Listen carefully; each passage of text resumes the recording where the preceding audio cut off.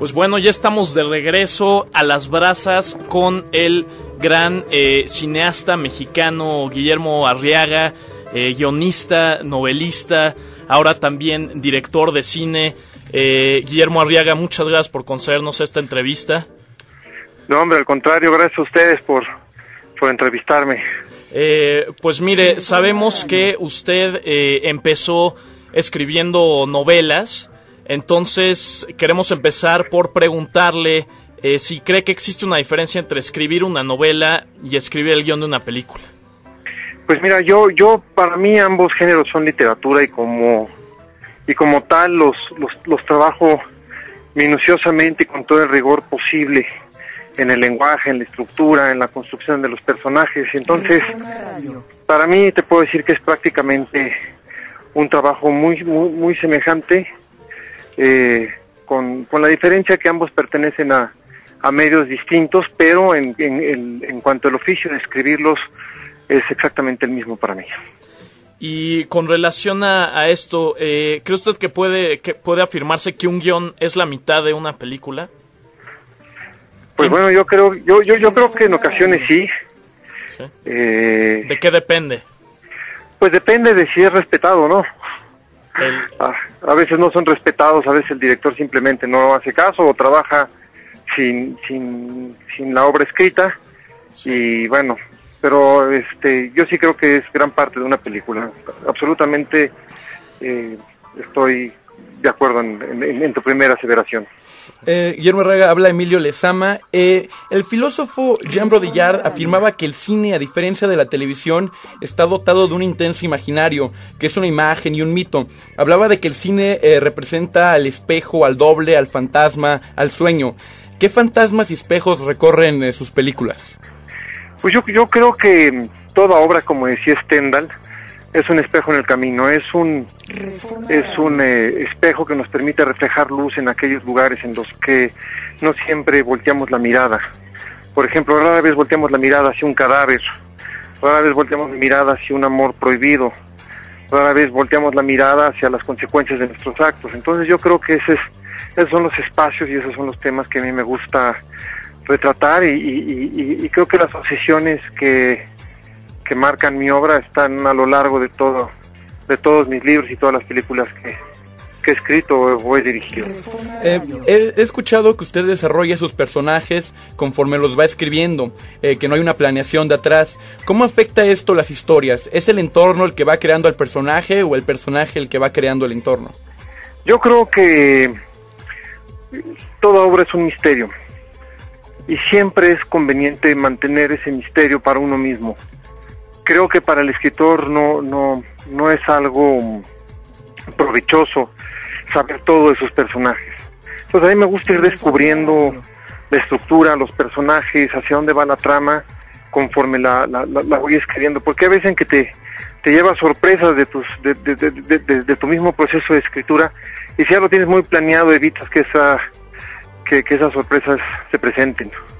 Y, eh, maestro Rega, ¿usted qué, qué opinión le merece el cine mexicano actual, digamos, en comparación con, con la llamada época de oro del cine mexicano?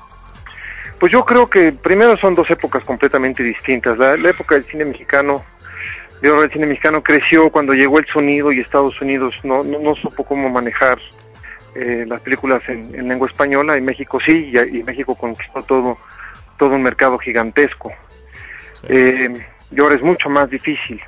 Pero yo creo que tenemos eh, una cinematografía muy saludable, la verdad. Tenemos cineastas muy importantes que están aquí en México. Puedo nombrar a Fernando Emke, a Simón Bros, a Carlos Regadas, a Mate Escalante, a Mario Muñoz.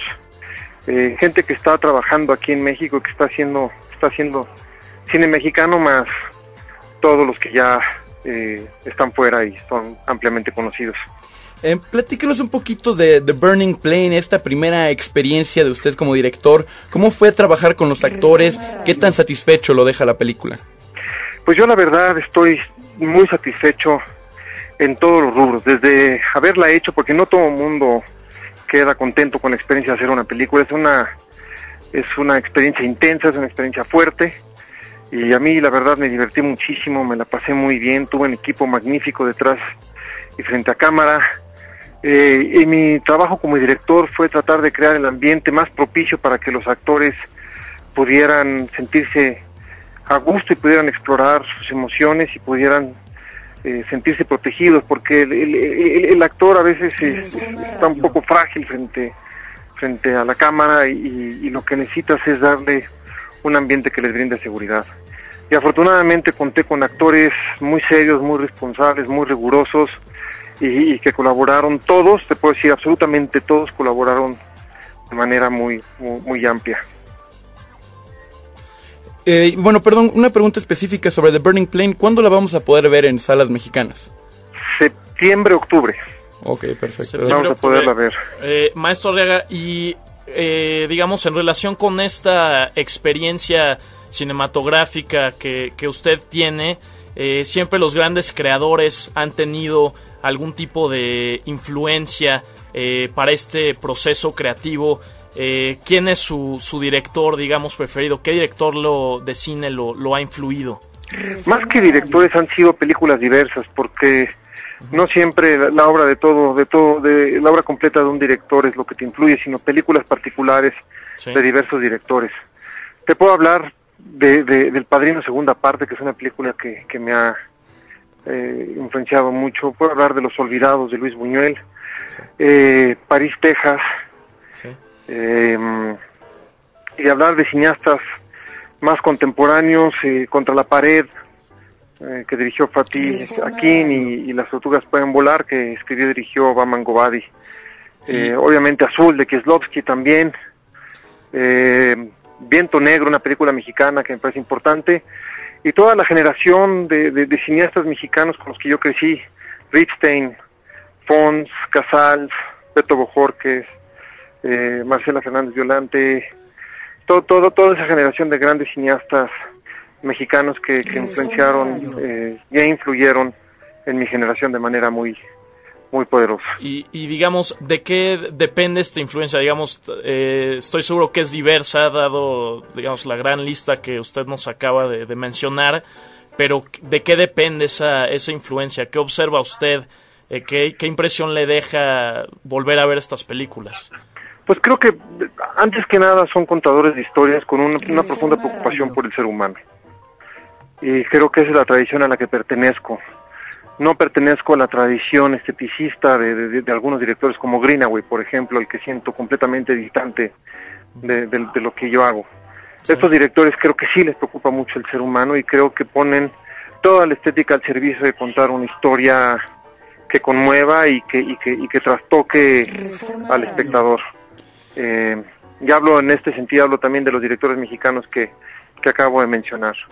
Eh, yo sí, directores que están preocupados por la estética, aquellos directores que vienen de los videoclips, por ejemplo, pues tengo a tener cierta distancia de ellos. Claro, eh, maestro Arrega, ¿usted cree que el cine debe reflejar la realidad mexicana? En otras palabras, ¿debe el cine ser un protagonista o debe ser un mero testimonio de nuestra realidad? Yo creo que el cine puede ser múltiples cosas. Eh, puede ser pura y mera diversión, lo cual es muy sano que existe en una cinematografía nacional, que se hagan comedias eh, simples y, que diviertan. Pueden hacerse películas que, que, reflejen la realidad, por más descarnada que ésta sea y que nos duela. Pueden ser películas que, que incluso proyecten eh, un, un, plan futuro para, para, para la sociedad, ¿no? no, no, necesariamente ciencia ficción, pero que hablen de algunas posibilidades hacia el futuro. Puede ser que sea una película subversiva, que subierte el orden y lo, y lo, y lo cuestione, puede ser una película confrontacional.